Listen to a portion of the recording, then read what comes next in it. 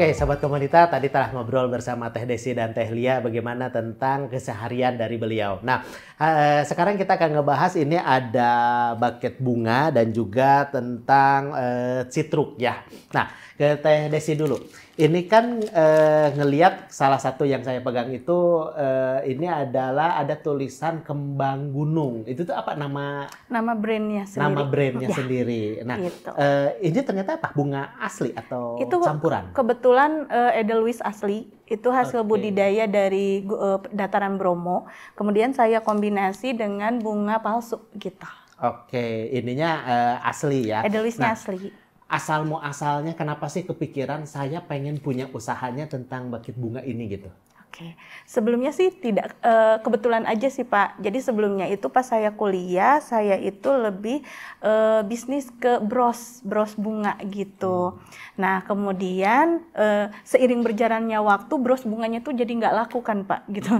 Jadi si bros itu coba saya kasih batang, kemudian jadilah eh, buket, eh jadilah bunga gitu, bunga tangkaian. Setelah jadi bunga tangkaian, coba saya eh, buketkan gitu, menjadilah buket bunga gitu. Oke, kalau dulunya sih masih usahanya tentang bros ya, Iya, bros. ikuti perkembangan orang-orang Jadi, brosnya iya, ini, gitu. kan? Oke, nah dari si eh, bunga ini ini Hmm? yang bikin sendiri atau punya karyawan atau apa sampai jadi seperti Ya, ini tuh? kalau sampai sekarang sih untuk menjadi buketnya sendiri eh, saya yang buat dan adik saya saja gitu, cuman berdua Oke, masih gitu. berdua ya untuk Iya, saat ini. tapi kalau untuk produksi seperti bunga, karena saya bikin itu tidak hanya dari Edelweiss, tapi ada juga bunga pita. Jadi dari pita satin dibentuk menjadi bunga. Nah, Oke. kalau untuk pita satin yang dibentuk menjadi bunga, saya manfaatkan atau saya eh, pekerjakan eh, saudara-saudara sepupu-sepupu gitu, karena sudah tidak tertangani sendiri sama saya.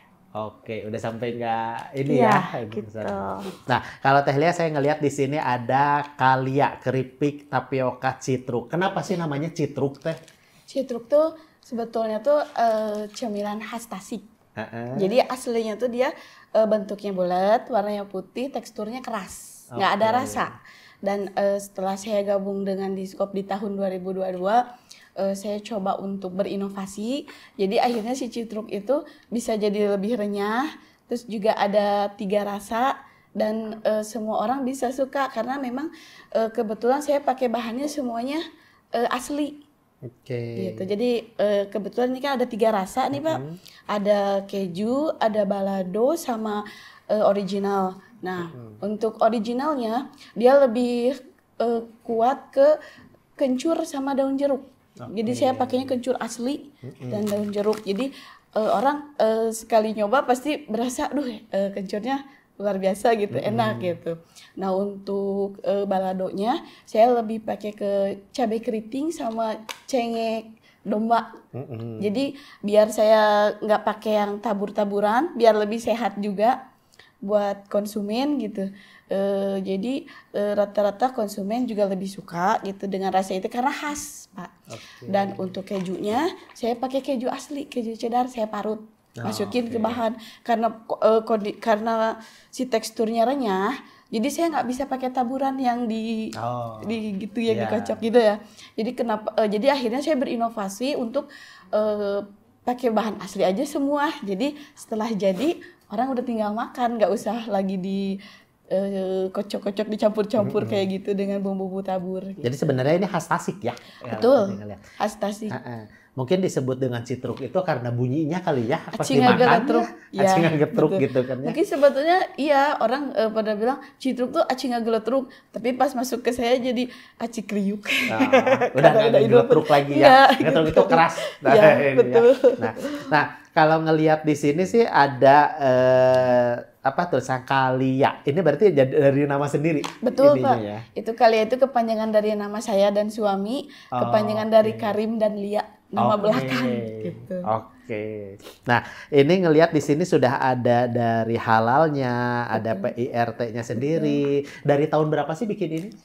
2022 Pak. 2022 dan ternyata udah lengkap juga semua ya. Itu haki lagi proses, uji mutu udah keluar. Oh, Jemu tuh udah keluar, Udah haki keluar. masih Lagi proses saat karena memang lama untuk haki. Oke. di itu. Nah ternyata di dalamnya juga ada nih teman-teman kalau misalnya ngelihat di belakangnya itu sudah ada informasi gizinya juga gitu kan biasa eh, jarang juga gitu kan ya kalau snack makanan ringan kayak gini.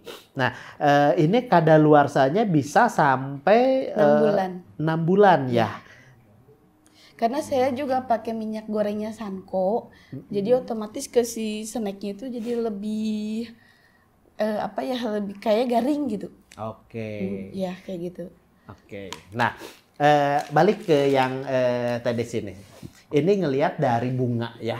Terus kepikir eh, ada beberapa kalau saya ngelihat di sini juga ada boneka, bahkan di sini ada uang juga. Idenya dari mana sih? Mulai kepikiran oh saya nggak bunga terus gitu. Asalnya sih eh, saya konsisten di buket ini eh, bunga satin. Nah tadinya pengen konsisten karena ciri khas, tapi setelah eh, mengikuti perkembangan ternyata tidak bisa seperti itu. Harus mengikuti perkembangan musimnya sekarang buket apa gitu. Jadi saya lihat di beberapa sosial media juga sekarang sedang musim bunga apa gitu. Kan kebetulan sekarang itu lagi musim-musimnya buket uang Oh. gitu. Lagi best seller banget kalau untuk buket uang sekarang-sekarang. Berarti tetap harus ngikuti perkembangan apa ya sih yang di masyarakat Ya, itu ya yang gitu. lagi ramenya. Iya betul Bapak. Eh, ini biasanya Hmm. untuk dari konsumennya sendiri apakah mahasiswa yang wisuda atau Hmm. apa gitu biasanya? Kalau konsumen saya pribadi itu bergerak dari mulai TK, Pak. Jadi dari TK itu eh, saya menyediakan seperti piala boneka yang di bawahnya itu ditulis nama, kemudian logo sekolah dan foto anaknya. Nah, dari TK kemudian di eh, SMP, siswa SMP, SMA sampai dengan mahasiswa gitu. Jadi kalau SMP, SMA itu terkait jika ada eh, ini perpisahan sekolah Oke. gitu. Itu yang minta pihak sekolahnya atau tadi saya nawarin Awalnya saya coba nawarin, kalau misalnya untuk pihak sekolah ke guru, biasanya saya tawarkan ke guru. Kalau misalnya untuk siswanya sendiri, ketika ada perpisahan, saya akan jemput bola. Jadi saya akan buka stand di sekolah-sekolahnya, seperti itu. Oke. Nah, kalau Teh Lia, ini kan eh, makanan ringan yang kalau ngelihat sih cukup simple ya, bisa dibawa-bawa gitu kan, nggak ribet juga dan kemasannya menarik gitu kan. Ini ide dari mana sih Teh? Asalnya oke saya ininya pengennya warna kuning, tulisannya seperti ini gitu. Kepikir nggak? Kalau saya sih menarik gitu ini dari kemasannya. gitu. Kebetulan dari dulu saya suka warna kuning. Oke. Sejak dulu. Kalau untuk tulisan, eh, kebetulan waktu saya bikin di eh, desain, eh, jangan terlalu polos deh. Kalau bisa agak unik, tapi jangan terlalu rame juga. Jadi Ah. biar orang eh, lihat tuh, oh khas gitu.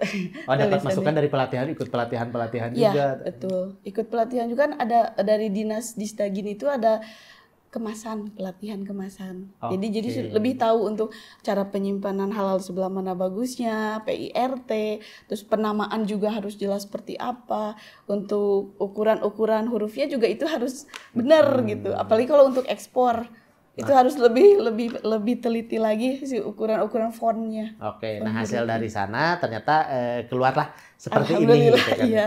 Oke, nah sahabat komunita, eh, sebentar lagi kita akan bahas lebih detailnya gimana sih tentang pemasarannya dari si buka tersebut bisa sampai eh, orang nggak tahan juga gitu kan untuk eh, bikinnya sampai mempekerjakan saudara. Juga kita akan ngelihat bagaimana pemasaran dari eh, snack citruk ini. Oke, tetap jangan ke mana-mana masih di sobat komunita.